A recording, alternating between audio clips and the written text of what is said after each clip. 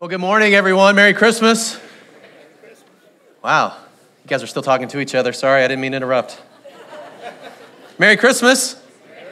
All right. It's so good to be with you. Um, we're in a series uh, called Rediscover Christmas. And as I've been doing some preparation, I have found no shortage of people uh, who want to tell us how to define Christmas. Like, Christmas is the time for, and you fill in the blank. Like, for a lot of people, this time of year, Christmas is the time for buying new jewelry uh, for uh, updating your cell phone plan and you get four free phones when you start a new line with AT&T or uh, maybe this is the time of year when you make a major purchase like an automobile without consulting your spouse.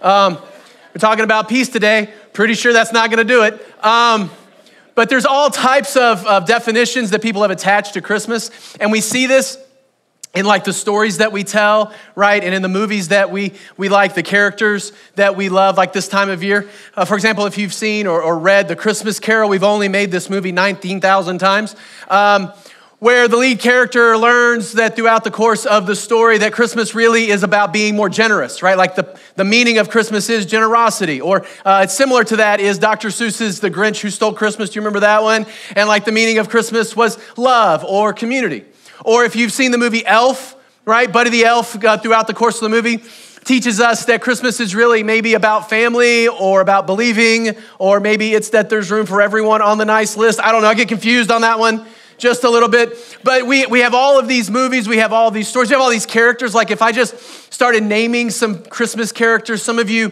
love them so much, you watch the movie every year, they're a part of your traditions, you consider them close friends. Like if I say someone you know, listen, just yell it out, just cheer for your favorite when we get there. One of my favorites is Bart Simpson because he's been on the longest running television show in TV history. And he said it this way He said, Aren't we forgetting the true meaning of Christmas? You know, the birth of Santa. Like there's all types. There's all types of reasons to celebrate Christmas, but you know maybe uh, maybe some of these other stories appeal to you. Go ahead and yell them out, cheer when you get to see yours. But like, how about George Bailey? Right, George Bailey, Kevin McAllister, Clark Griswold. Wow, Clark coming in strong in the 1030 service. Ralphie, John McClane, Luther Krank, Charlie Brown. Oh, sorry, Charlie. Uh, Susie Clark, Scott Calvin, Bob Wallace, Rudolph. You had one job, Rudolph. All right. But all of these, all of these characters, right, they go throughout the course of their story, and then at the end, right, like the meaning of Christmas is that they become a better version of themselves, right? They learn the lesson most of the time, these stories have some type of like self help, self improvement, self realization. There's a moral to the story, a truth, a change, a challenge, a recognition that brings into the character's life more joy, more hope, and more peace for the year to come. I think we do this because culturally, both inside the church and outside of the church, we recognize, right? Come on, Christmas has some power behind it, right? Like there is, there is some power and some meaning in Christmas. In fact, I think culturally we would agree inside the church and outside the church that Christmas has the power for life change. That in the Christmas season, you could have your whole life changed. And certainly, listen, I love it all. I love Christmas presents. I love Christmas food. I love the fact that we decorate everything from where we live to what we eat. I love all of the stories and the music and the characters. I love it all. And here's what my temptation is, and maybe you felt this too. My temptation is to believe that what I should do is I should celebrate Christmas all month long, right? I should just fill up on Christmas for an entire month and then let that change me into a better version of me and I'll just live off of that emotion, right? I'll just live off of that experience for the next 12 months and I'll be a better person. Like there's a temptation there that's reinforced over and over and over again. But I think it's also my tendency, maybe this is true for you, to, in the midst of all of the stories and the movies and the presents and the meanings of Christmas, is to forget the true meaning of Christmas, to miss it. And you think, well, how could, how could a pastor miss the true meaning of Christmas? How could he forget what Christmas was supposed to be all about? Listen, guys, I forget why I walked in some rooms. Come on. Amen if you've been there. Like I have to remind myself going down the hallway, I'm going to get my coat. I'm going to get my coat. I'm going to get my coat. I have it. Otherwise, I get there and I don't know why I came into this room. So it's very possible, right, that we could get to Christmas and sort of like get here and be like, why Christmas? Why did I come in here? What's going on? And what if, what if the real meaning of Christmas, the true definition behind it, is so obvious it's in the original story? Like, what if the meaning of Christmas, the true power in life for life change in Christmas, is in the story about a baby born in a barn on a cold night, right? To, you know, what, what if, what if that's the point of the whole thing and it's right there in front of us and we've just missed it? Let's look at a passage of scripture very common at Christmas. If you have been around the church at Christmas time for any number of years, you have heard this passage read. If you have celebrated Christmas before, I'll bet someone said something to you similar to what's written here. Luke chapter 2, starting in verse 8. Follow along with me. It says, And in the same region, there were shepherds out in the field, keeping watch over their flock by night. And an angel of the Lord appeared to them, and the glory of the Lord shone around them, and they were filled with great fear. And the angel said to them, Fear not, for behold, I bring you good news of great joy that will be for all of the people. For unto you is born this day in the city of David a Savior who is Christ the Lord. And this will be a sign for you. You will find the baby wrapped in swaddling cloths and lying in a manger. And suddenly there was an angel of multitude of heavenly hosts praising God and saying, Glory to God in the highest and on earth peace among those with whom he is pleased.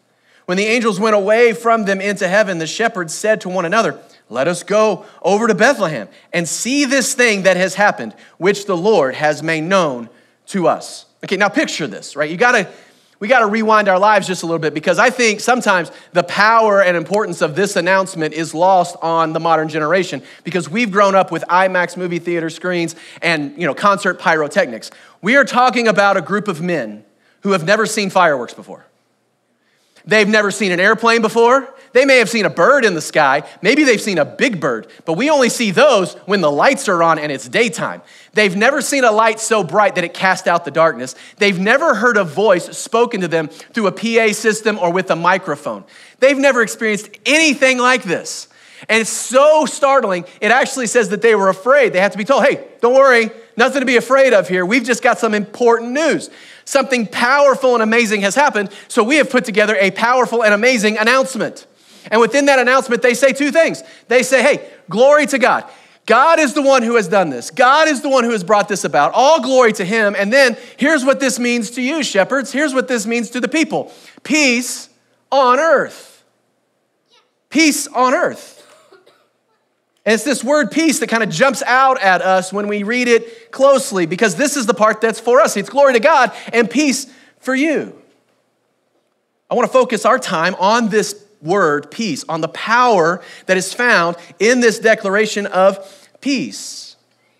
It's a long sought, rarely found quality within people, moments, and experiences. A peace produced by and through the child of Christ. A peace that is possible for all of us through the power of Christmas, and a peace for which Jesus Christ is called the Prince right? He is the authority of the peace. Isaiah 9 6 says, For unto us a child is born, and to us a son is given, and the government will be on his shoulders, and he will be called Wonderful Counselor, Mighty God, Everlasting Father, and Prince of Peace.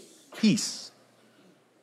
This word, we've heard it used. We're familiar with it. It's not, you know, not a new concept. We, we've seen peace treaties between warring nations. Uh, some of you have asked Santa Claus for peace and quiet at your house for Christmas. That's all you really want, right? Peace of mind keeps us from worrying and staying up all night. If you drive by the high school uh, on the left side of the building, what's it say? It says peace on earth, right? It's this sentiment of goodwill and heartfelt merriment. We use this term peace to mean societal friendship and harmony, a lack of hostility and violence between groups or individuals, right? It's this peace of commonality and rest, this thing that we get to just get to go. We say, Peace, brother, peace out, peace be still, peace and love, peace within, peace be the journey, and may they rest in peace. It's common in our language, it is less common in our lives. And the announcement of Christ's arrival is an announcement that peace has arrived. But if you're like me, you look around the world, it doesn't seem that peace has arrived. It seems like there's a lot of things going on that are not, by definition, peace. So, how is it that peace has arrived? If we're saying in this proclamation that peace has arrived, but my experience is that there is no peace, I must then ask the question, and so must you what do they mean by this word peace? What type of peace did Jesus come to deliver? What is the biblical definition then of this peace? And so I want to give it to you in four parts. Are you ready to do that? Okay, all three of you, let's go. the peace that we need like hope and joy, right? Peace seems that it is always in limited supply. So we could always use more peace. Where could we use peace? Quickly, we need peace in relationships. We need relationships without conflict. That would be awesome, right? That would be peaceful if we had relationships without conflict. If you remember the movie uh, Home Alone, right? And Kevin, and what's he's having conflict with all his brother and his mom and, and all of his family. He's got conflict with them. And then, like, after they leave him home alone, which I don't, I've never, I've never once done this, but there was a lot of kids. I, we try to make excuses for how she ends up looking like the great mom at the end of this movie. I don't understand. But there was conflict in those relationships. If we had peace, if we could have relationships without conflict, we would have a great deal, a great measure of peace within our lives. If people were just easier to deal with, let's be real, if we were easier to deal with, we'd have more peace, right? Relationships would be easier. Listen, nations would stop warring against each other. Political parties would stop hating one another, right? People would be more generous. Marriages would be stronger. Politicians would be more honest. Parents would lead and protect children, and children would honor and respect their parents. It would be much more peaceful on the planet if we had relationships without conflict. We'd be less self centered right? And we would express kindness and gentleness and gratitude more willingly. And wouldn't that be great for Christmas? Wouldn't that be an amazing Christmas present? To have peace in relationships, relationships without conflict. This is a part of the peace that Jesus came to bring. We see this, in fact, because those who want to follow Jesus, they get blessed when they are agents of peace. Jesus, in the Sermon on the Mount, in Matthew 5, verse 9, he says, Blessed are the peacemakers, for they will be called the sons of God. That as Christ followers, it's our job to walk in and try to create peace. We are to be agents of peace, bearers of peace, because this is a part of the peace that Jesus came at Christmas to deliver, to bring to us. But not only peace with one another, between people, but we need rescue from nature and decay. That's Jaws 3, subtitled The Revenge. It is a Christmas movie. It takes place at Christmas, and I think that's all it takes. But for those of you who don't have Jaws 3 on your yearly Christmas watch list, let's recap the story. This is the Jaws movie where Mama Shark gets angry at people for capturing baby shark and putting them in like a SeaWorld place. And so Mom Shark swims up the coast to individually seek out the humans who have hurt. See, this movie works on two levels because we need relationships without conflict and we need rescue from nature and decay. We need monsters to not eat us. we need peace from the natural world, right? If we got along with one another and we had no more conflict between us, we still wouldn't have total peace because things like tornadoes would exist. There'd, there'd still be earthquakes and tsunamis, like cancer, sickness, right? There'd be aging. We, have the, we feel the frustration of our fragility, right? We need peace from that. We need peace from all illness. We need peace from all pain. And a day is coming when that peace will be reality. This is a part of the peace that Jesus came to bring, and he brings it about at the end. In Revelation chapter 21, John is writing what he sees, and he sees the new earth being established, the new heavens and the new earth. And this is how he describes it. He says, I heard a loud voice from the throne saying, Behold, the dwelling place of God is with man he will dwell with them and they will be his people. And God himself will be with them as their God. And listen, he will wipe every tear from their eyes, and death shall be no more, neither shall there be mourning, nor crying, nor pain anymore, for the former things have passed away. Because this is a part of the peace that Jesus brings, that there is a day coming when bad things don't happen naturally This is the type, and we know that Jesus has the power to create this type of peace because when we read Mark 4, this is exactly the flex that Jesus is putting on. Do you remember? They're in the boat at night, right? And a big storm comes and it's dark and they don't have any lights on the boat and it's raining and the waves are crashing into them and they think the boat's gonna sink, right? So they wake Jesus up from his nap and what does he do? He comes out on the deck of the boat and he says, Peace be still. And like the wind and the waves and the rain, they listen to him. Jesus walks out and says, Hey, wind, hey, waves, hey, rain, go to your room. And they just do it. Because Jesus has come to bring that type of peace. He's come to bring that type of harmony within the world. He has come to deliver that peace unto us. We need, we need relationships without conflict, and we need rescue, right? Rescue from this body, from nature and decay. But also, we need relief from inner turmoil. Let's get real for a second. How many of you know it's true? Everything in your world could be at peace. Everybody could be healthy. Everybody could be getting along. You could have great relationships with everyone. Your job is going amazing. But inside, you have no peace. You got, you got racing thoughts. You got anxiety. You got worry. You got fear, guilt, strife. Come on, am, am I talking to myself or is this real? Right? We don't just need peace on the outside, we need peace on the inside because we could, right? Like if this peace is for real, and I promise you that it is, like if we resolved all the conflict between the people and there was no more no more wars and no more arguments over Thanksgiving and like all of all of us were just getting along and like the earth was just peaceful and there was no more sickness and we cured all the cancer and we got early alert system for the weather and we could redirect all of the heavy uh, winds and rain and we could stop all of that, we would not be able on our own to match the inside to the serenity that would exist exist on the outside because we need inner peace. And Jesus understood this. This gets overlooked, but listen to what he says in John 14, 27. Jesus understood that we need the internal peace as well. Peace he came to bring. He says, Peace I leave you. I leave with you. Peace I leave with you. My peace I give you.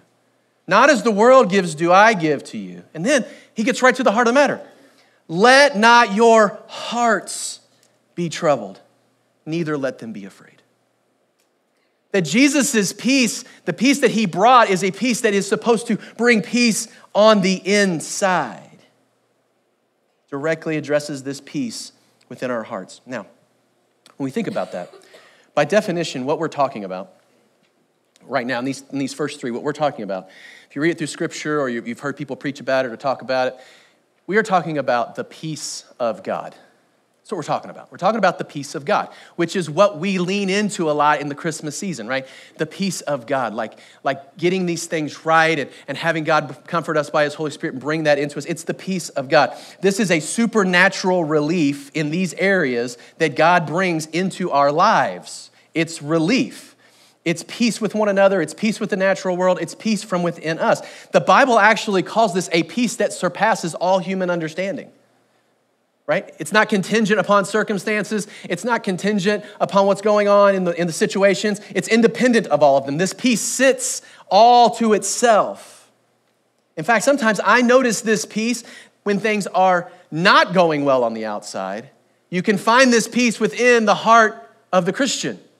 This is when I have gone uh, maybe to the hospital or to someone's home who is battling cancer and they're going through some really hard, terrible chemotherapy treatments. And I have gone to them to minister to them and to bless them and to try to be good to them. And as a result, I walked out being ministered to and blessed. I don't know if any of you have ever experienced that, but they've said things to me like, you know what? God's in control. God's got this. I'm not worried. And I'm so moved by that because they are embodying the peace of God within them.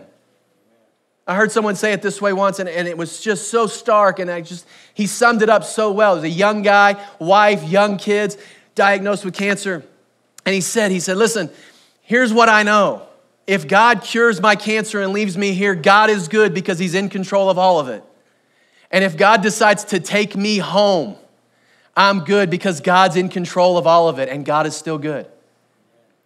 See, look, the peace of God doesn't change the circumstances. When you leave here, relationships that are in conflict are still going to be in conflict. Famine and distress and devastation around the globe are still going to happen. Wars are still going to break out. You're still going to get sick. Cancer still exists. Your body's still going to ache as you get older. The peace of God didn't change any of that, it just changed me. It comforted me. This is the type of peace that we see when Horatio Spafford wrote the old classic hymn that many of you know when peace like a river attended my way, or when sorrows like sea billows rolled, when the waves kept crashing into me and I kept trying to get up and they kept crashing into me. Whatever my lot, thou hast taught me to say, It is well, it is well with my soul. This is the type of peace that Jesus refers to in Matthew 11 28, when he beckons us near and he says, Come to me, all who labor and are heavy laden, and I will give you rest.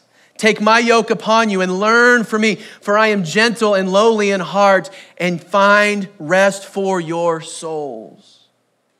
It's this Holy Spirit's work of assurance that God is in control, that things have not escaped him, that he has everything under his plan even though people are still going to mistreat each other, bad things are still going to happen in the world, and I'm still not going to feel all of the peace that I will feel on the inside. It is still a present reality. Because I know that peace is coming one day, I can make it through today. Every week, we have this meeting here at the church called the uh, Ready for Sunday meeting. And in that meeting, what we talk about is this will shock you being ready for Sunday. We gather the team, and it's not a long meeting, but we sit around and we just kind of go through the elements, the things that we've planned, the progress we're making, uh, things that are going to happen here within the weekend, within our services. Uh, we just make sure that everything's ready. And sometimes, every now and then, like, you know, something has happened and we've not made the progress that we need. Uh, something got in the way, and so, like, it's kind of all hands on deck. Like, I'll help with that. We'll pick that up mostly though there's two common answers as we move around the team members. There's two common answers. One is yeah i'm ready for sunday. I've got it all worked out. I'm ready to go. But the most common thing we hear i think the thing we hear the most is it's thursday. We say i'm not ready but everything's on schedule. And what that means is like, it's not it's not sunday yet. Like we got time and everything's on schedule. I'm not worried. Look i don't have i'm not 100% on this yet I don't have total peace on it yet. I'm not done with all of the work yet, but it's on schedule. I'll be ready. I'll be done. I'll be there. I bring that up and tell you that because I believe that's how the peace of God has worked in my life.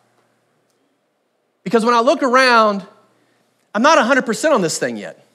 I don't have all the peace that I want or desire. It's not done yet. I don't have it all in hand. It's not finished. But you know what? The peace of God reminds me everything is still on schedule.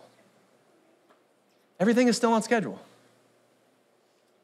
We're speaking of the peace of God.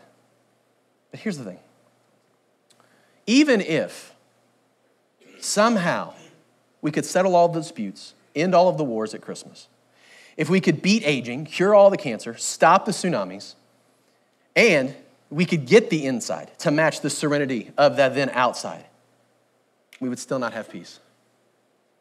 We still wouldn't have peace. Because there's one step of this peace plan, this four step plan, that all the others are contingent upon. See, what we're talking about often is the peace of God.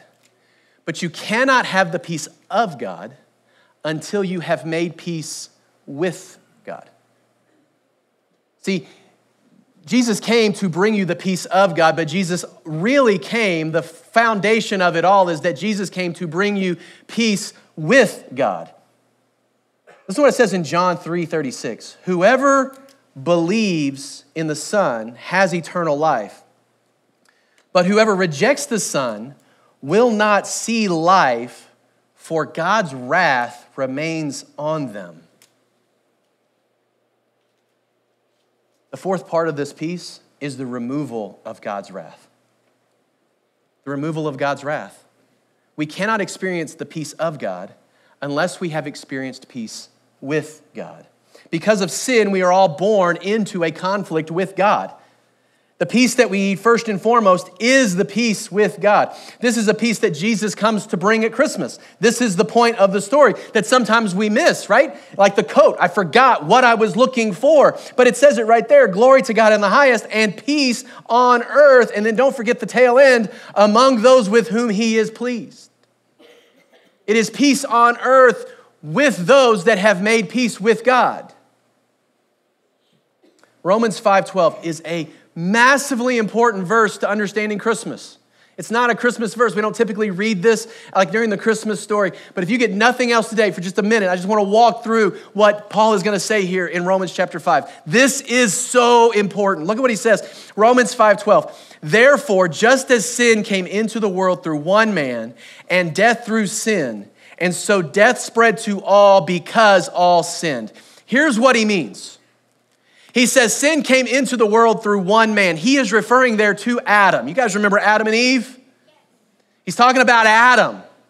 He's saying that because Adam and Eve sinned, sin came into the whole world and death came with it. It's all right there, right? You remember Adam? They're in the garden. They have complete peace with one another. They have complete peace with God. Uh, the nature, the world around them has complete peace with them. That's what's happening. And then they rebel. They sin. They do explicitly what God told them not to do. They go their own way, and immediately, if you re- go back and read the Genesis account, immediately they made clothes for themselves. Why? Well, because death entered the world. Yeah, they're gonna physically die. This is where physical death comes from, but there was also a death in the peace in the relationship because before sin entered the world, they were naked and unashamed. They had no reason to ever hide any part of them from, the, from each other. They were at complete peace with one another. And then almost immediately after it happens, it says they noticed that they were naked and they made clothes for themselves and they covered themselves. They also had been at peace with God, but that died also. Because it says that God came to walk with them in the cool of the day as if this was something God did every day. Like around dinner time, He just showed up and was like, hey, you want to take a walk? And they were like, yeah, we're in perfect peace relationship with you. We'll take a walk with you, but not this day. After sin, it says He came to have His daily walk with them and they hid from Him. It says they scattered because now there's reason to be afraid. We've become enemies with God, there's conflict between them and God. And then because of this conflict, right, that was between them and God, they can't hide from him because, you know, he's God. So then what do they do? They play the blame game when God confronts them. There's no heartbreak, there's no sorrow, there's no repentance, there's no contrition. Adam blames Eve and God, by the way. He says, It was the woman that you put here, it's her fault. By the way, you put her here. And Eve says, Well, the devil made me do it. And there's death and it enters the world. And then it says, just as it entered through one man, it says, death spread to all because all sinned. And when I first read that, I thought, yeah, what that looks like it means is that the reason that you are a sinner is because you commit sins. That's what makes you a sinner. That's what puts you at odds with God, is because you do sinful things. And so you're in conflict with God because you don't do the right things. That's what makes you a sinner. That's not actually what Paul is saying. Paul is saying that the sins that we commit are the evidence that we are a sinner. See, sinning doesn't make us a sinner. We sin because we are born sinners and it's all we know how to do. And the sin is the evidence of our broken spot from birth. We are born then enemies of God. And I know you might be hearing that, and that sounds like a little extreme. Like, come on, Tim, we're, it's a little over the top maybe there are some people in the world who are enemies of God, right? Like there's some real staunch atheists out there, and there's people who hate Christians, and there's people who hate the church, but it's not me. By the way, I'm here today on a Sunday morning, right? But the truth is, the Bible doesn't leave us any room in the gray. It doesn't say, well, some of you are sort of enemies of God, and others of you, well, you know, you're not really with God, but you're not against Him either. There's no, there's no category like that. Look at what it says in Romans chapter 8. It says, For the sinful nature is always hostile to God. Remember that sin nature we have, the reason we sin is because we have a sin nature. It's always hostile to God. It never did obey God's laws, and it never will. Every human being is born at odds with God. Romans 5:10 For if while we were God's enemies stop right there while we were God's enemies which means that all of us and everyone that we know, either currently or at one point in our lives, were enemies with God. But it says, if while we were enemies with God, we were reconciled to him through the death of his son, how much more, having been reconciled, shall we be saved through his life?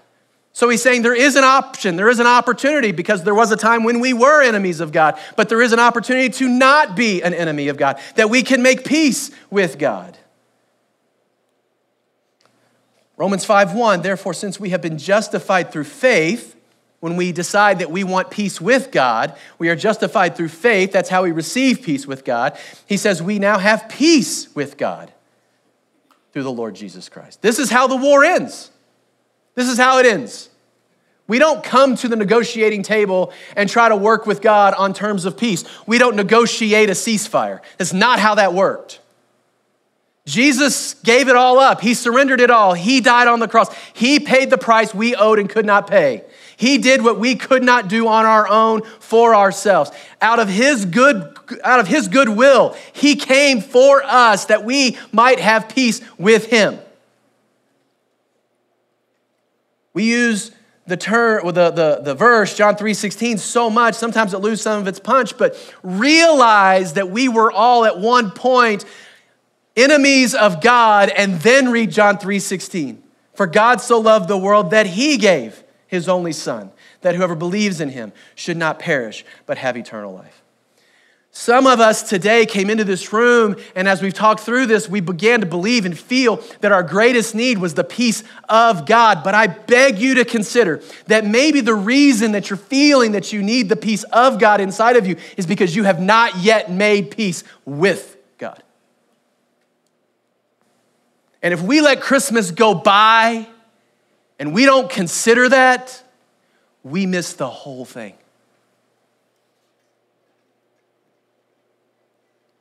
Peace is made with God when we agree to His terms, which is an unconditional surrender.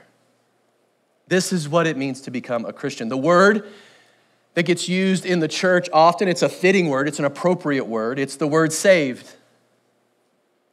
We say that you should get saved, saved from your sins, saved from hell, saved from the wrath of God. This is the peace that Jesus came to deliver at Christmas. I'm going to invite the worship team to come back in just a few moments. We're going to sing and we're going to have an opportunity to reflect and worship. And as they're coming, I just want to challenge you, bring this all together and bring, bring a challenge before you. Unlike the stories that we mentioned earlier about you know, George Bailey and Kevin McAllister and Susie Walker and Ralphie, unlike those stories, the real story of Christmas isn't about becoming a better version of yourself. It's not about trying harder. It's not about being better. It's not self help, self improvement, or self realization.